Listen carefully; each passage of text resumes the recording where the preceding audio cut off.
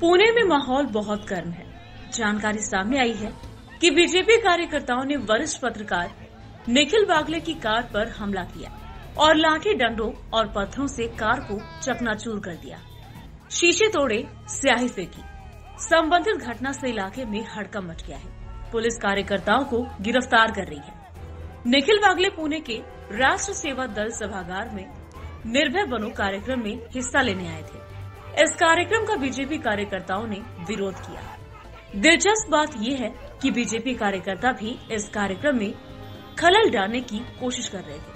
BJP कार्यकर्ता hall में जाकर बैठ गए।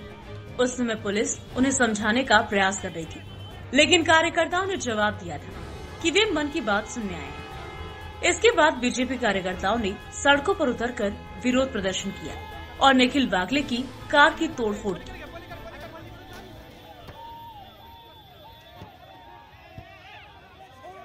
Bureau report V Saras news Pune Maharashtra.